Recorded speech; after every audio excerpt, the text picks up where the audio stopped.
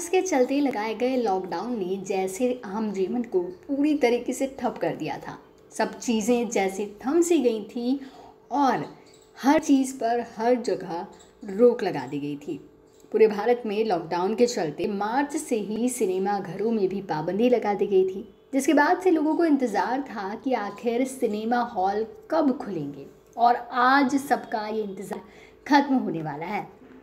आपको बता दें कि आज से अनलॉक फाइव लगने जा रहा है, जिसके अंतर्गत सिनेमाघर स्विमिंग पूल खोलने की इजाज़त दे दी गई है।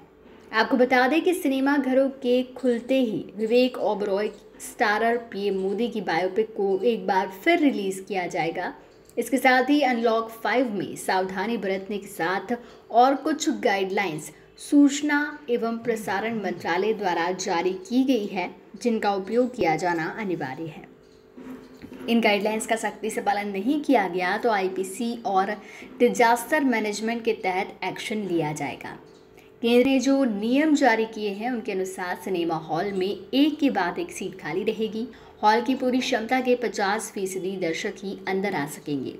सिनेमा हॉल में प्रवेश करने वालों को हमेशा मास्क पहनना पड़ेगा। अंदर वेंटिलेशन की उचित व्यवस्था ज़रूरी है, साथ ही एसी का तापमान तेईस डिग्री से ऊपर रखना होगा। आप देख रहे हैं घमासान डॉट कॉम। और भी न्यूज़ अपडेट्स पाने के लिए सब्सक्राइब करें हमारा चैनल और नोटिफिकेशन पाने के लिए बेल आइकन को प्रेस करें।